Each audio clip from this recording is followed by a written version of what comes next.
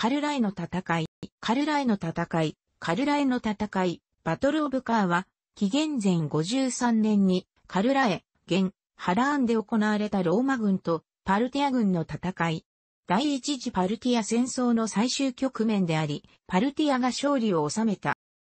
紀元前55年に、マルクス・リキニウス・クラッススは、グナエウス・ポンペイウスと共に務めた、コンスル、執政官の任期を終えた。当時、クラッススは、ポンペイウス、ガイウス・ユリウス・カエサルと共に、第1回三党政治を行い、2度の執政官を務めて政治的な実績を重ねていたが、第三次奴隷戦争を鎮圧して、以来ほぼ20年間、軍事的には目立った実績がなかったため、パルティア遠征を考えた。ローマとパルティアではまだ国境線がはっきりしていなかった。元老院は遠征しないように説得したが、カエサルとポンペイウスが賛成したので、元老院はしぶしぶ納得した。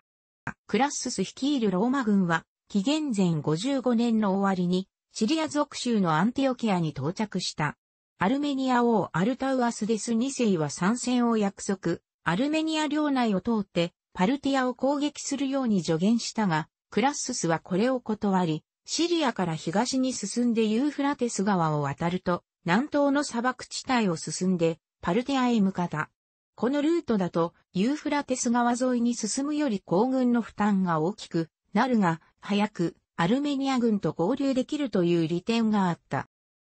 迎え撃つパルティア王オロデス2世は軍隊を2分し、自らは不評や重装騎兵といった正規軍を率いてアルメニア攻撃に向かい、部下のスレナスにはスレナス自身の紙幣でクスス迎撃に向かわせた。この紙幣はほとんどが弓矢を装備した軽騎兵であった。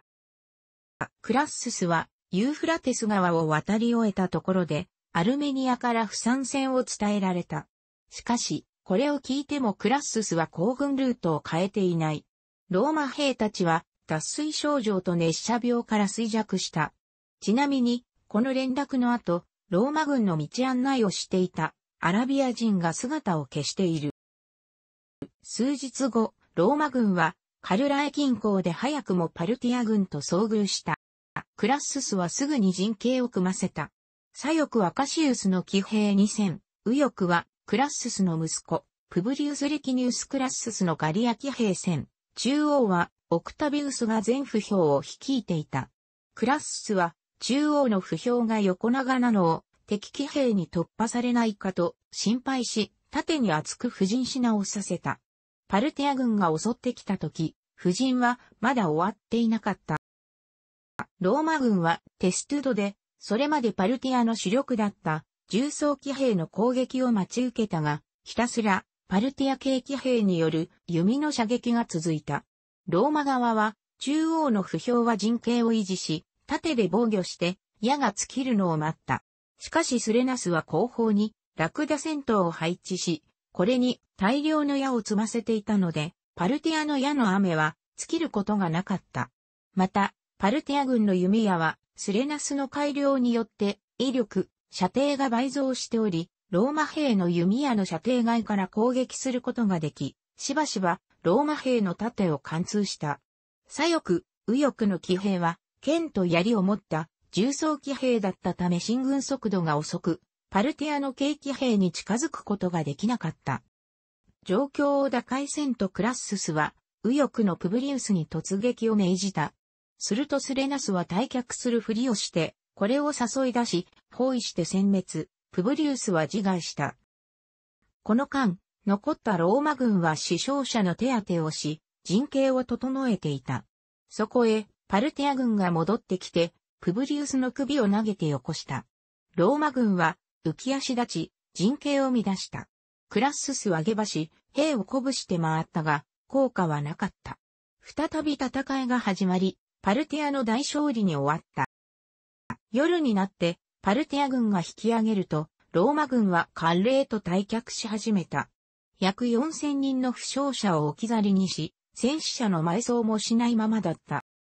この戦いは、ローマが喫した大敗北のうちの一つである。指揮官のクラッススもこの戦いの後に殺害され、主級はオロデス2世のもとへ送られた。パルテア軍の残り半分のアルメニア方面軍は、アルメニア王国へ侵入したため、アルメニア王アルタウアスデス2世は、ローマと手を切って、パルティアとの同盟を結んだ。